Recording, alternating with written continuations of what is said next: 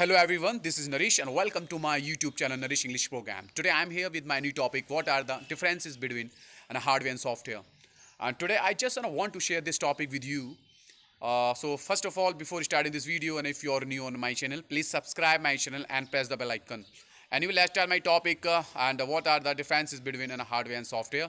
And as you know what guys, computer hardware uh, is any physical device and something that you're able to touch uh, and uh, software is a collection of instructions and code and installed into the computer and cannot be touched. And for example, the computer monitor you're using to and read this text on and the mouse and uh, you're using to navigate this web browser, sorry, web page in this computer.